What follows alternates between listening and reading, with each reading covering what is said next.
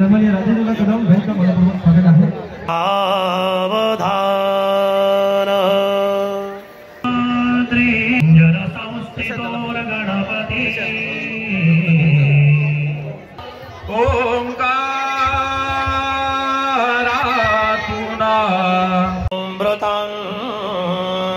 चाम्बुदे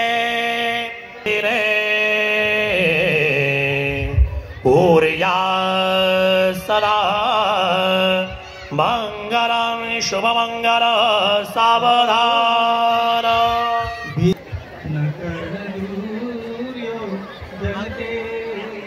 पंची शिवसेना आणि भारतीय जनता पार्टी याचं युतीचं एक स्टेबल सरकार जे आहे ते या ठिकाणी आलेलं आहे.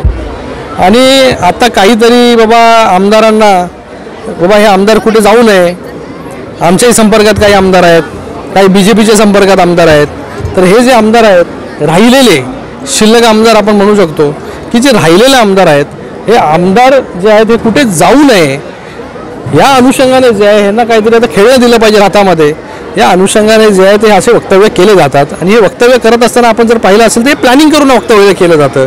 एन सी पीचे काही नेते बोलतील काँग्रेसचे काही नेते बोलतील आणि मग बाकी लोक असं म्हणतील.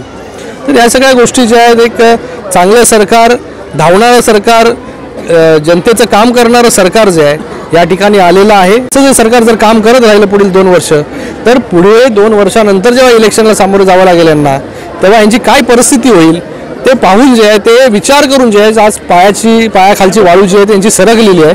म्हणून हे मध्यावधी निवडणुकीचं नवीन एक आपण त्याला टाइमपास म्हणू शकतो. हे भूज जे आहे. हे सगळ्या लोकांच्या समोर आणण्याचं काम चाललेलं आहे सरकार स्टेबल आहे सरकार मजबूत आहे.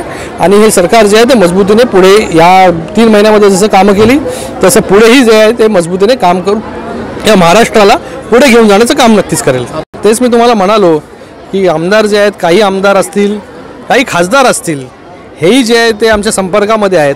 आणि काही दिवसानंतर आपल्याला नक्कीच कळेल की कोणाचे आमदार कुठे जातात ते आणि कोणाच्या संपर्कात आहेत जास्त आणि किती नंबर जो आहे तो हा येणाऱ्या काळामध्ये वाढणार आहे तो?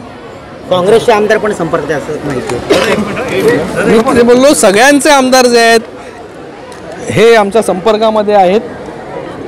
आजच तुम्हाला सगळ्या गोष्टी सांगितल्या की तुम्हाला पुढे जी आहे स्टोरी करण्यासाठी मजा येणार नाही. तर आपल्याला येणाऱ्या काळामध्ये थोडा धीर धरा.